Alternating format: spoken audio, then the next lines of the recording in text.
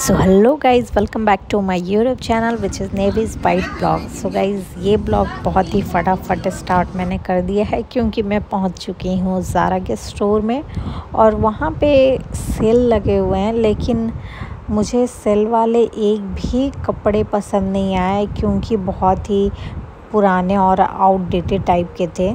लेकिन जो थोड़े बहुत पसंद आ रहे थे, वो डिफेक्टिव पीस थे, इसलिए उसको अवॉइड ही किया लेना। क्योंकि अगर जब पहन ही नहीं पाओ तो लेने से कोई मतलब नहीं बनता। और ये जो शर्ट है, मुझे बहुत ही पसंद आया। है और ये ऑफ़र में थे, लेकिन मेरे साइज़ के नहीं थे और बाकी जितने भी पीसेस लगे हुए थे, वो मतलब आप उसको यूज़ कैसे करते मुझे समझ में नहीं आ रहा था। मतलब कि बहुत स्लीवलेस था, इतना स्लीवलेस तो शादी के बाद पॉसिबल नहीं है। और यहाँ पे आप स्लीपर वगैरह भी देख सकते हो हील्स वगैरह बहुत ही अच्छे अच्छे थे। मुझे ज़ारा के शूज़ बहुत पसंद आए मेन सेक्शन में। और वैसे फ़ीमेल वाले में मुझे ज़्यादा पसंद नहीं आया। हील्स अच्छे थे, लेकिन शूज़ वगैरह नहीं थे अच्छे। और किड्स सेक्शन में भी बहुत प्यारे प्यारे ड्रेसेस थे। लेकिन यहाँ से बस मैं एक जीन्स ली हूँ और मेरे पति देव ने शर्ट जीन्स अपने लिए लिया है। और मुझे बहुत ही अच्छा लगता है कि मैं अपने पति देव को मतलब हर ब्रांड का एक एक कपड़े उनको दिलाते रहूँ। क्योंकि वो जल्दी खुद के लिए तो नहीं लेते हैं। और ऐसा नहीं ले नहीं सकते, लेकिन नहीं पैसे वेस्ट करते वो। तो वैसे ब्रांडेड ही पहनते लेकिन ज़ारा से नहीं लेते। तो ज़ारा ऐसे भी ज़्यादा फ़ीमेल का चॉइस होता है यहाँ के ड्रेसेस का। तो आ, मैं और मेरे पतिदेव और मेरे भाई गए थे डॉक्टर के पास तो वहीं से ज़ारा में गए थे और फ्रेश अराइवल में जो ड्रेसेस थे वो काफ़ी प्यारे लग रहे थे। और कुछ कुछ ड्रेसेस जो थे वो मेरे को लगता है कि फ़ालतू का पैसे बर्बाद है जैसे कि आ, कोई कोई वुलन टाइप का आ, उसको टी टाइप का था टॉप सब। तो वो मुझे यूज़लेस लग रहे थे तीन हज़ार, चार हज़ार के। बाकी जो कुछ पहनने वाले अच्छे भी ड्रेसेस थे। तो ठीक है, ज़्यादा कॉस्टली भी नहीं है और ज़्यादा चीप भी नहीं है।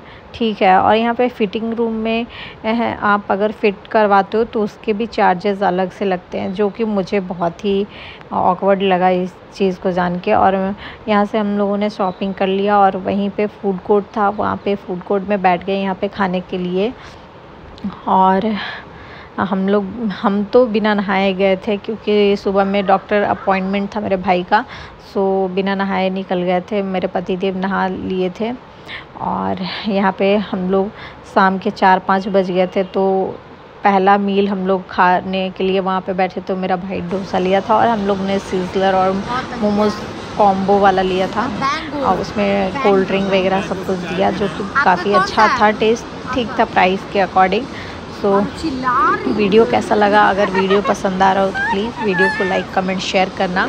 और अगर आपके पास एक्स्ट्रा मनी हो तो आप ज़ारा में जाके ले सकते हो। और एक्स्ट्रा मनी क्या? मतलब कुछ कुछ कपड़ों पे वैसे ज़्यादा मुझे ज़्यादा कॉस्टली नहीं लगता। ठीक है। शूज़ वगैरह तो आपको बहुत ही बजट फ्रेंडली वहाँ पे मिल जाएगा और बहुत ही अच्छे अच्छे। सो यही था। आज तो जीन्स ली हूँ उसका फिटिंग करने के लिए दे दी हूँ वहीं पे। और फिर पति देव का भी एक आ, वो ट्राउज़र पैंट था, वो फिटिंग के लिए दी हूँ और एक शर्ट लिया है। तो वो मैं नेक्स्ट वीडियोस में दिखाऊँगी, आपको ब्लॉग में दिखाऊँगी। तब तक के लिए इस ब्लॉग को ढेर सारा प्यार देना। और अभी समर इंड सेल भी लगा हुआ है तो आपको ढूँढने पे शायद मिल जाए, लेकिन मुझे तो नहीं मिला।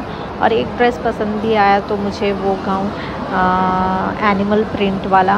तो वो मुझे मेरे साइज़ का नहीं था। सो वैसे आ, मुझे लगता है सेल में जो बिल्कुल आउटडेटेड वाले रहते हैं या फिर कुछ डिफेक्टिव पीस रहते हैं वही लगा देते हैं। आ, आ, लेकिन आपको अगर चुनने से अच्छा भी मिल सकता है तो आप वहाँ पर जाके थोड़ा आपको टाइम देना पड़ेगा।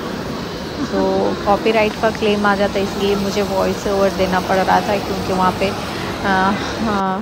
सॉन्ग प्ले हो रहा था बैकग्राउंड में।